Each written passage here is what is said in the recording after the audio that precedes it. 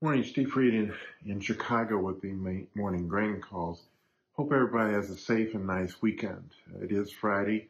Uh, could see some positioning evening up in the grains uh, as we near month end, quarter end, and the USDA September uh, stocks report.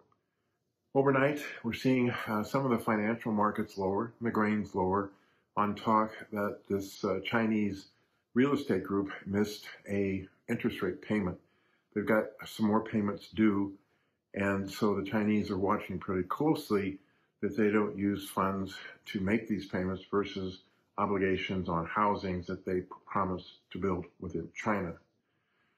We also note that from a weather standpoint, uh, there will be some rains next week across the southern plains.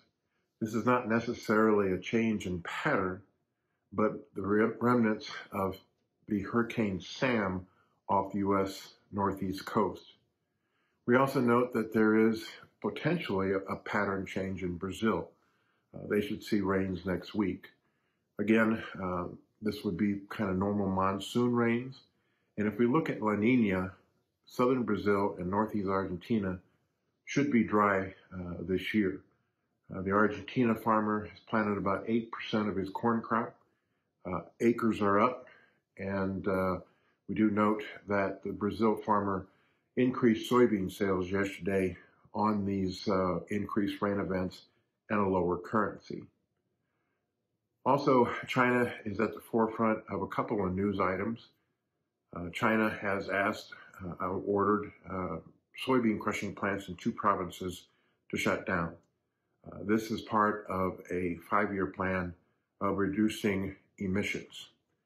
Don't know how long those plants will be shut down, but those actual provinces have missed their target emission numbers. We also note that China is rationing domestic electricity uh, because of a drop in coal supply. So we're not sure how that's going to affect their soybean imports, but especially soybean oil values are sharply higher this morning on talk of lower supply because of lower crush. We also note that China is coming down hard on crypto trading, saying that uh, for Chinese traders, it's illegal. We also note that there is some speculation they might curtail some Chinese from trading U.S. exchanges. So we'll have to watch that pretty closely. This should be a big harvest weekend for corn. Uh, Illinois yields supposedly still a little bit below expectations, while Iowa corn and soybean yields are above. We also note that the market's still waiting uh, for the Gulf to open to see potentially increased U.S. soybean sales and maybe corn sales. Again, Brazil will have half the corn exports that they did a year ago.